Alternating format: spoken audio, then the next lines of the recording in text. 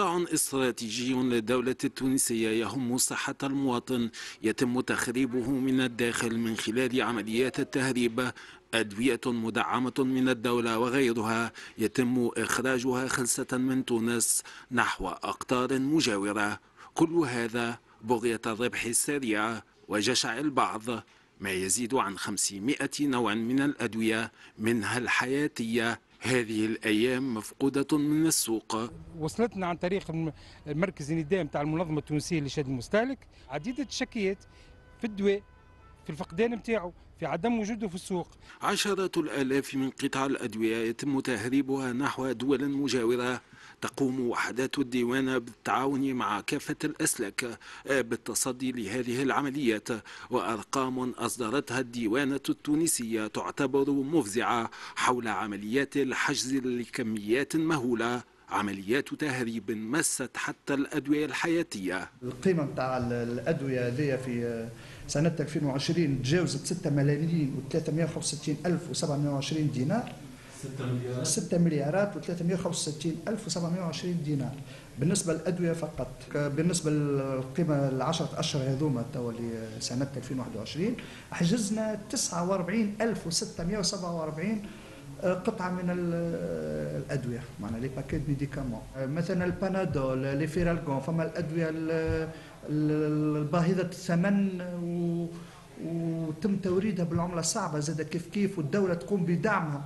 من جهة أخرى دعا وليد بوبكر أمين مال المجلس الوطني لهيئة الصيادلة إلى مزيد الحوكمة وإلى مراجعة منظومة الدعم على مستوى بعض الأدوية الموردة والتي تستنزف العملة الصعبة ولها مثيل في تونس بالإضافة إلى تفعيل التنسيق بين مختلف الوزارات مع هيئة الصيادلة مؤكدا أن الهيئة لن تتسامح مع أي كان وإن كان من منظورها فيما يتعلق بشبكات التهريب والتي تورط فيها 15 صيدلانيا سنة 18 و2000 في 2018 هي هذوكم صيادلة ومجموعة كاملة معناها سنوات قبل والبحث تعدوا تعدوا على مجلس تأديب وخذت فيهم الهيئة قرارات وقرارات صارمة.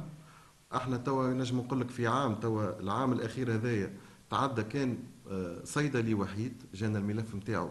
اللي فيه تهريب وخذا آه، قرار بتحجير النهائي لمهنة مهنة الصيدله دونك ما فماش ارتباط عضوي بين التهريب وفقدان الأدوية. تكون عندها نسبة عندها نسبة صحيح أما نسبة ضئيلة جدا.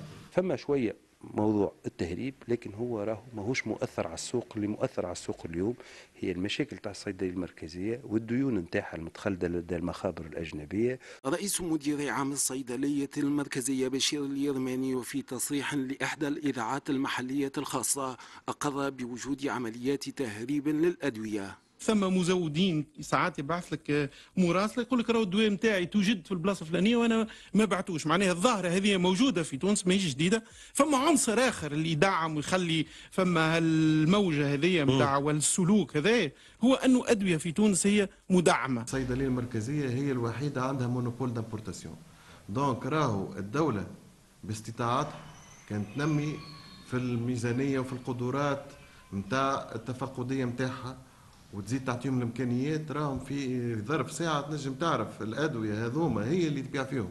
تبيع فيهم معناها ال circuit الكل تنجم تعرفه. c'est traçable راهو هذا ويقر جميع المتداخلين في قطاع الأدوية في تونس بأن السبب الحقيقي والنسبة الكبيرة وراء هذا النقص الحاصل في مخزون الأدوية يعود بالأساس للأزمة المالية التي تعيشها الصيدلية المركزية والتي انعكست بدورها على جميع المتعاملين معها.